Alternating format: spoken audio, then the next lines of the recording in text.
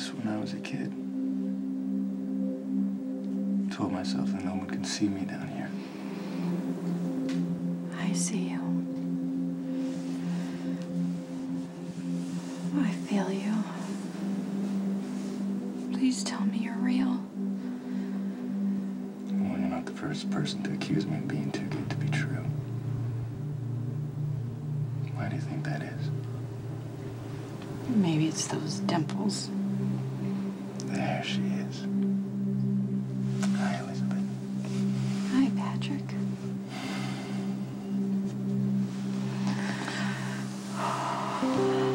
You need a doctor? For what? I've got you here.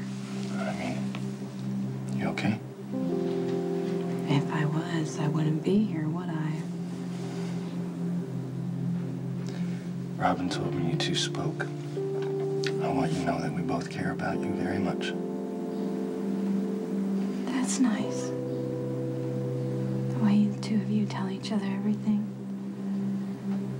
Lies and secrets are poisonous.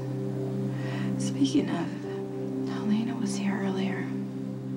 So I think she was. I'm not even sure what's real anymore. It's kind of freaking me out. Anyone would be scared. You've already done the hardest thing, Elizabeth. The bravest, most sane part. You walked through the door and you signed yourself in. That's half the battle. I just need to get better. I need to be okay before this baby comes.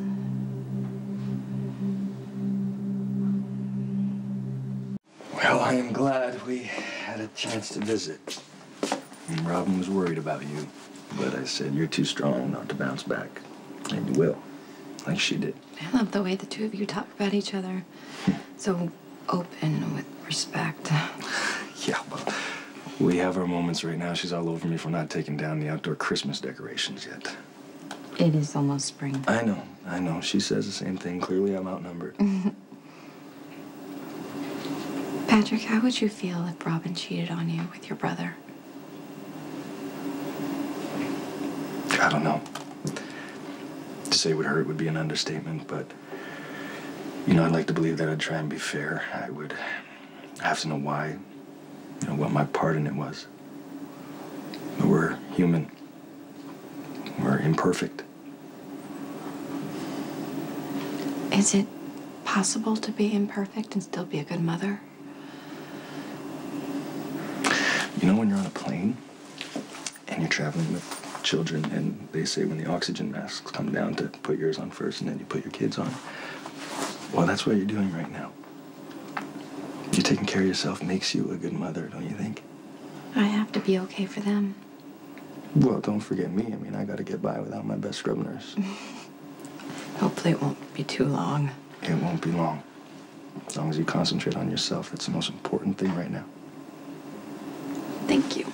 Absolutely. Anything you need.